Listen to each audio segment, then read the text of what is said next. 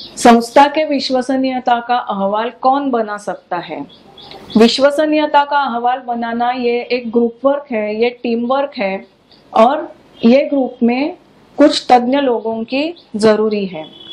एक तो नामुनाफा क्षेत्र में काम किए हुए व्यक्ति legal experts accountants social research किए हुए व्यक्ति एनजीओ या नॉन प्रॉफिट्स में काम करने का एक्सपीरियंस होने वाले व्यक्ति और डोनर ऑर्गेनाइजेशंस में एक्सपीरियंस होने वाले व्यक्ति।